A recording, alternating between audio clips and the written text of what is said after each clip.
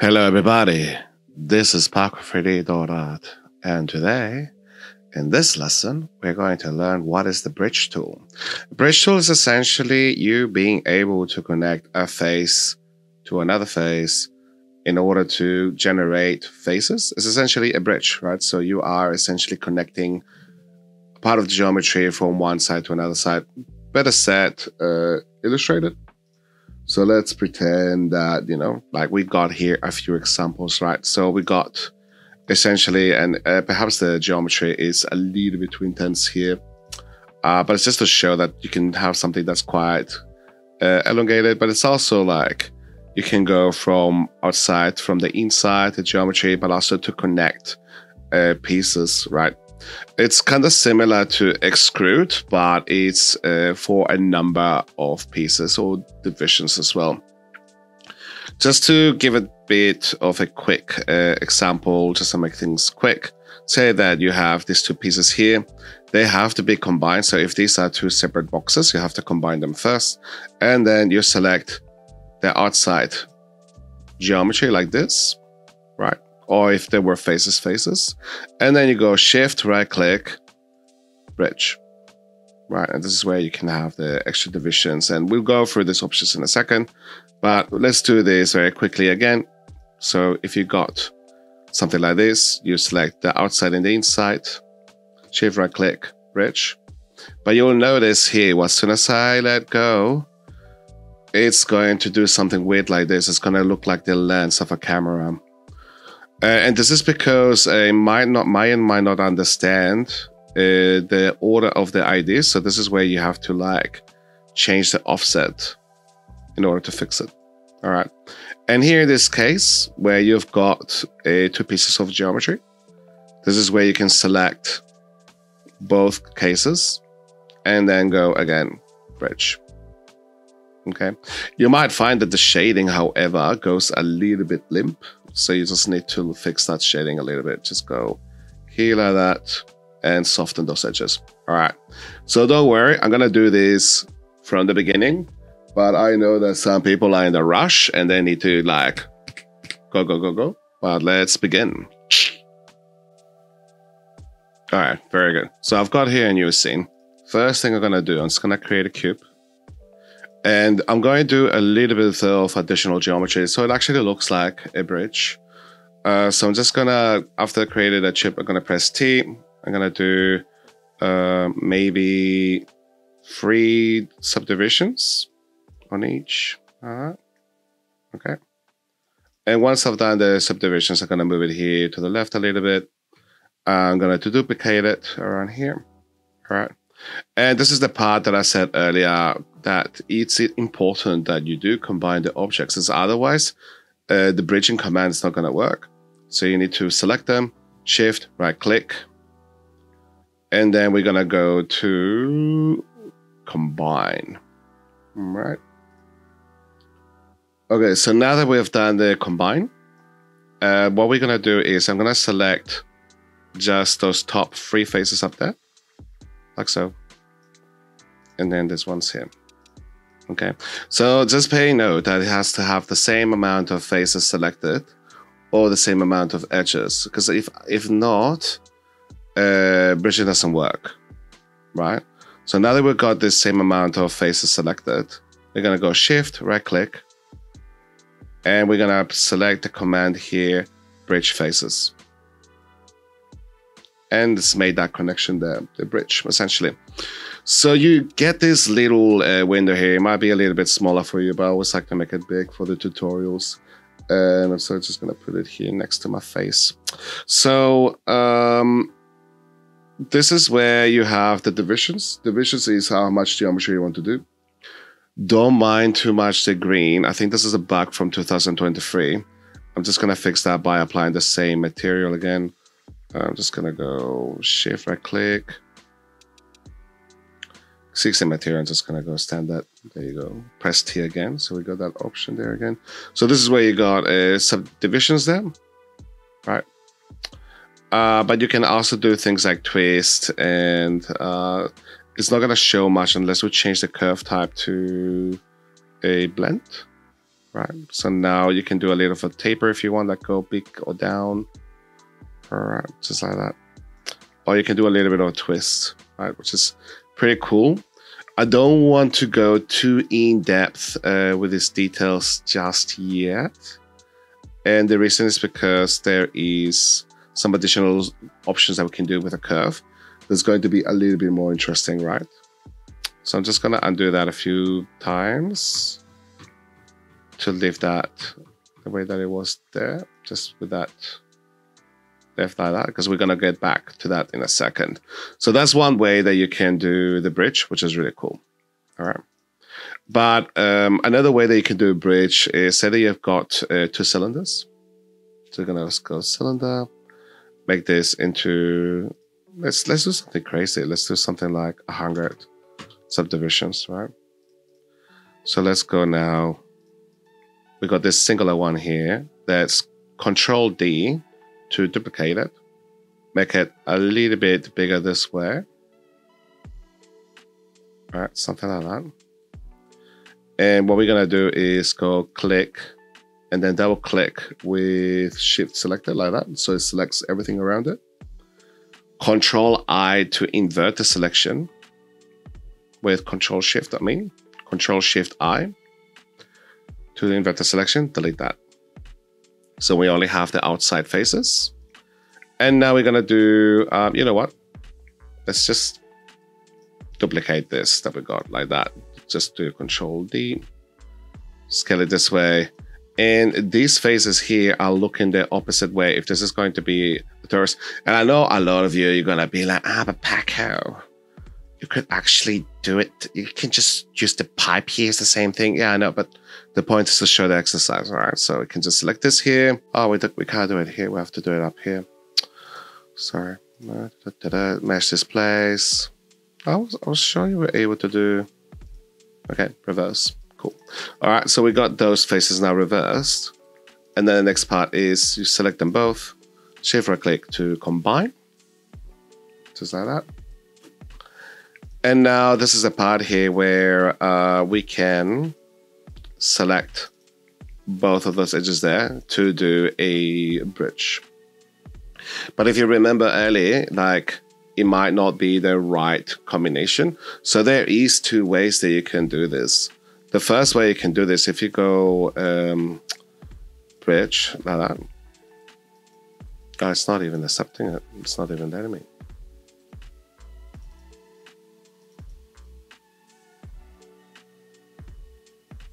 There you go. Uh, so the one way that you can do this is now, yeah, you can just go offset and then go like that, right? But if this gets a little bit too tedious to find the right amount, like this is now 81, and you don't want to do it this way, one way that you can do this is you just select the one that you want, that you're for sure certain it's going to be okay. So you just go select this one here. You bridge that first and then you double click here to select everything and then you deselect this too. And then you redo the bridge again. And that way and just to make sure that that's uh, welded all right and that's how you can essentially bridge the whole thing around it. Just pay note however that both sides need to have the same amount. So here we got 100 edges and on this side here as well we got 100 edges yeah, so it has to be the same amount of edges or the same amount of faces. So if we look here in the bottom now, uh, if you ever want to do a mirror to make sure that they're both on the same side, you can just go right, right click. Uh, this isn't nothing to do, but you know, you, you know what I mean. So just go Y, and now we got the both sides done. Okay, uh, so that's the next one here. Now, uh, the next one that I wanted to show is if you got two objects that are different, but you just you still want to weld them together. Uh, kind of similar to this. Uh, say that you've got a sphere and then you've got like a torus and you want to like combine the shapes. So if you say, so let's do a sphere. Let's do like a capsule kind of a thing. And then let's do a cylinder. Okay, so the cylinder has to have the same amount of uh, sides, it's 20. and then this one here is going to be 20 as well. If they don't have the same uh, number of face of, of edges around, it's not going to work very well. So now I'm just going to do is I'm going to delete those faces there. I'm going to do the same here.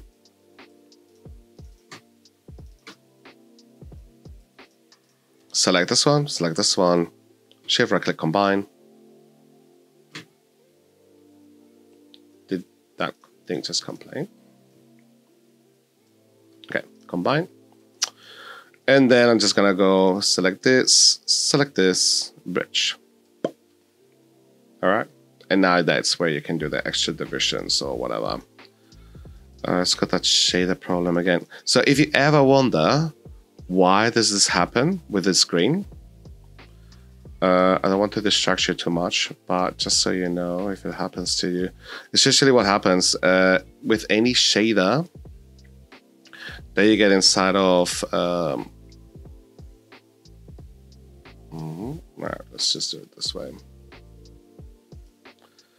It's essentially complaining because, like, if you look at this, right, you have this shading group with every material, and if it doesn't have a shading group, then it becomes green. Like it, it just everything just breaks. And for some reason, uh, Maya is not identifying with oh that's meant to be like a shading group. So you just apply the materials again, and it should fix itself whenever that happens. Okay.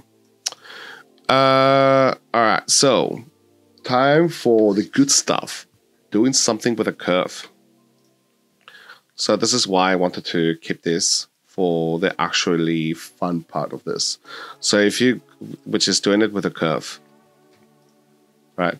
And it enables you to do like actually let's let's do something really weird. Let's actually select the, the top part of here and here, right?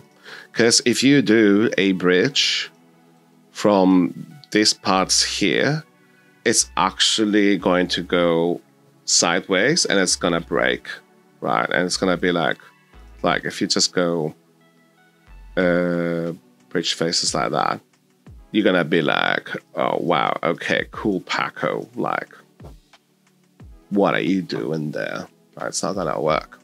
However, if you do this with the options in here, there is a smooth path with a curve.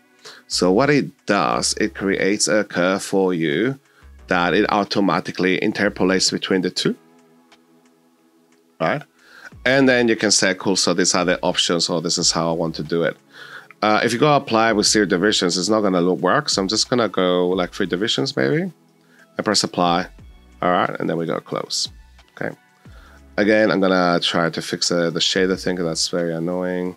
Sorry about that. Let's say Maya. Maybe they'll fix that in number 24 or something or 25. So now you can see here there is, if I select this fillet here, there is a curve, right? Which is going to be a bit hard to see unless I go in X-ray mode here, right? So if I select that curve and I go control vertex, it's going to give me the control to actually uh, change this a little bit more. So I can just go, okay, make this a little bit flatter, for example, right?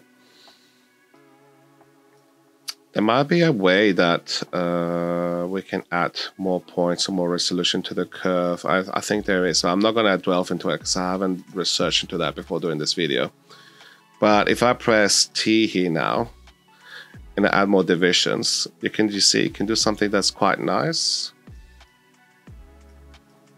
And there you go. That's the power of this, but you can do something with a bit with the tape. Holding that control to make it a little bit finer. Uh, when you see how there is like a little bit of a weird artifact going on there, you can fix that very easily if you change the, the bridge offset. So if you go in here, change that. There you go. That's fixed it. All right, so you can do like doing this by scratch would be a nightmare. You would be like biting off something. You'll be like, oh my god, this is a nightmare. Right, but you can do things really nice like this, and you've got a lot of flexibility. You can just go into that curve, in here, vertex. Sometimes it's uh, control vertex. All right, and now you can just go all right and change that around. Okay, I don't think I've got anything else to show. I think this is pretty useful. I do recommend that you try all those scenarios that I have done with the cylinder, but also the two different objects. Uh, just remember, just to simplify this from the get go, that you can do these in both ways. So, first, you can do, you have to combine the objects, combine them. And second, you can do this with a face. So, go face, face. Um, and then you can just go shift right click, bridge faces. Like that. Or if you delete these, and then you can just double click on the edges. Right, and make sure that's 4, 4. Like that. Okay. I don't know what's happening with the camera. Shave right click and then bridge. Okay. And that's all to it. Uh, play with a little bit with this and have some fun. Okay. And um, yeah, anyways, a bit of a summary. We have uh, covered the bridge tool. We have done the bridge tool with a number of exercises. So we have done it with also with a cylinder and two different objects. Uh, but also we've covered a little bit what is the combine uh, tool, uh, but also how we can edit these changes with a curve modifier as well. Uh, for next, uh, I am starting to run out of things to do unless we could do a little bit of subdividing exercises. But that would be if we do a subdividing exercises, a very, very long video. Because it's it's more about the logic behind it, on how it works, on how things are uh, connecting, and how we can create shapes using that same thinking methodology. So it's going to be quite in depth. So I will try to summarize it in the beginning and then expand a bit more on that. All right. Uh, remember to uh, subscribe, share, like. If you got any comments, comment below. I would I really appreciate uh, any thoughts that you've got about this video. And I will see you very soon.